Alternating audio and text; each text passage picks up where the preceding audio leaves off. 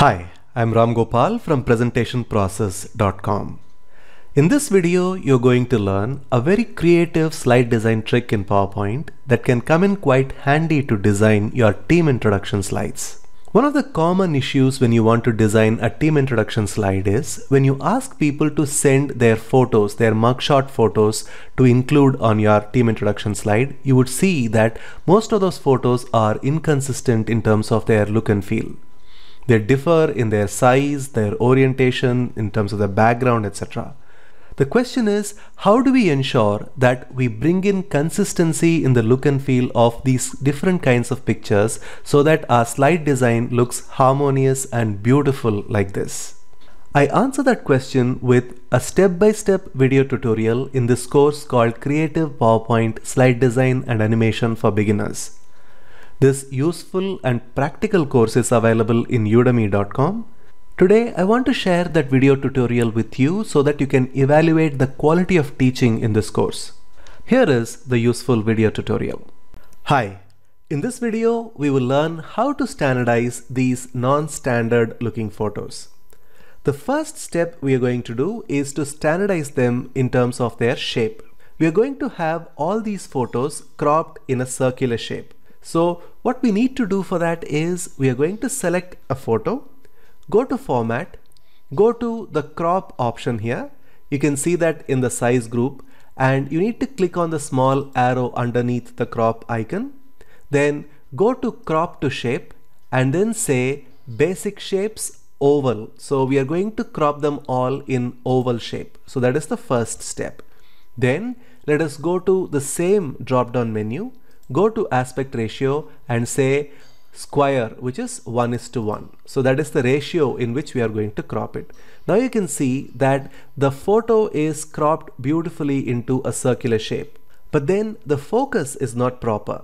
So we are going to click and drag the photo so that we are able to bring the exact point that we want to bring to focus. As you can see here, the face is now brought into focus.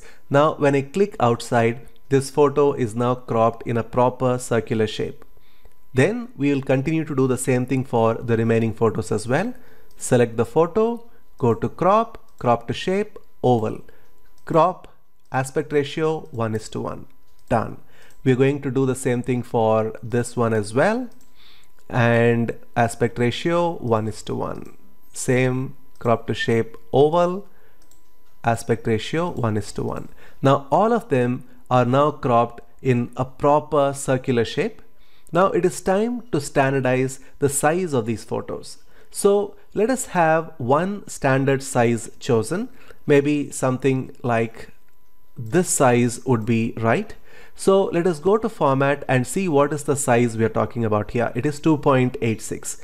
Now the idea is to pick one size and ensure that all the other photos are standardized to that particular size. So that is what we are doing here. We have picked this size which is 2.86 by 2.86 in terms of inches. Now we are going to select all the other photos as well and we are going to input those values manually. So we are going to say 2.86 for height and 2.86 for width and now all these photos are proper in terms of their size as well. The third thing we need to standardize is in terms of the look and feel. If you see here, the background is of a different color compared to this one, and this one has a very different background altogether. So we are going to standardize them for color so that all of them look consistent. So I'm going to select all these and then go to Format tab in PowerPoint ribbon, go to the color option, and we are going to choose the second option called grayscale. Now all the photos are in grayscale, so the color is standardized. The next thing we are going to do is to add a picture border for each of these photos.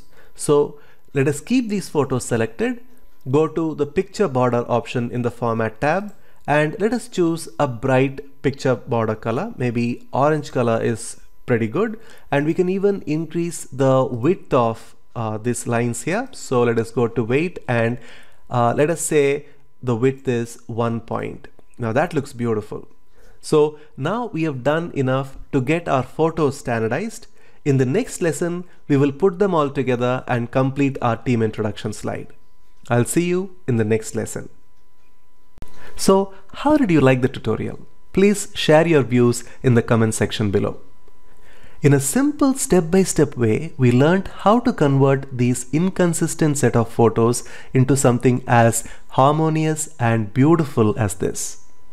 This course has 48 such lectures with downloadable materials, supplemental resources, quizzes, etc. so that you can learn some creative PowerPoint slide design and animation tricks even if you are a beginner in PowerPoint. I will leave a link to this program in the description box below the video. And for a limited period of time, you would be able to access this course for a massively discounted price by using the coupon code that I included in the description box below the video.